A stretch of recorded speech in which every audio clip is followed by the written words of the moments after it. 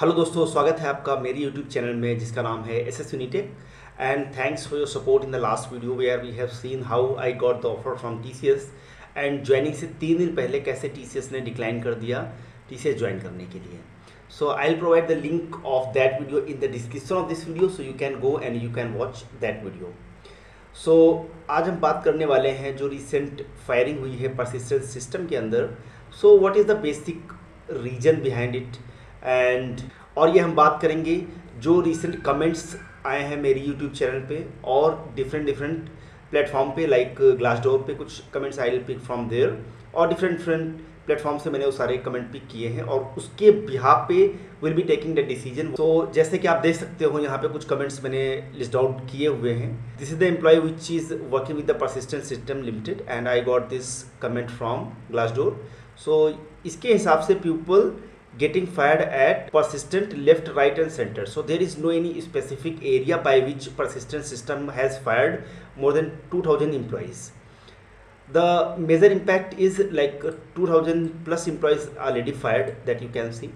And these are basically with the low performance. So the first criteria if you are low performance employee then you will be going to fired. So this is the first case और इसके हिसाब से persistent system में firing हुई है।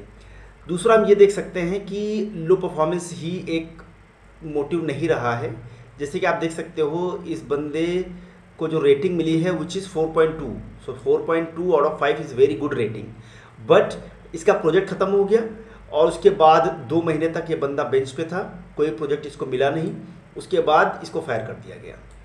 तो ये दूसरा रीज़न है doesn't matter if you have performed very well अगर आपके पास कोई प्रोजेक्ट नहीं है दो महीने से you will be fired so this is the second case और थर्ड केस में हम ये देख सकते हैं कि ये बंदा बोल रहा है कि I guess they are firing randomly by seeing dependency on the project इसका मतलब ये है कि फॉर एग्ज़ाम्पल एक किसी टीम के अंदर, किसी प्रोजेक्ट के अंदर दस एम्प्लॉय काम कर रहे हैं। और दस एम्प्लॉय में आठ एम्प्लॉय ऐसे हैं जो कि प्रोजेक्ट में अपनी डिपेंडेंसी रखे हुए हैं।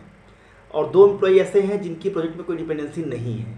तो उस सिनारियों पे दो बंदे वहाँ से निकाला उन्होंने कॉस्ट कटिंग की और उनको फायर कर दिया। So this is the third case और चौथा केस आप देख सकते हो कि ये बंदा जो है, इसको क्लाइंट से अप्रिसिएशन भी मिला हुआ है। बट इसको निकाल दिया गया क्योंकि इसने मेडिकल रीजन की वजह से छुट्टी ले ली थी।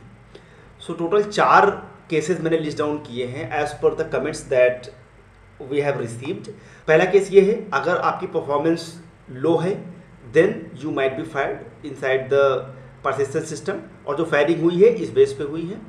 दूसरा, अगर आपके पास कोई प्रोजेक्ट नहीं है दो महीने से, तब भी आप फायर कर दिए जाओगे।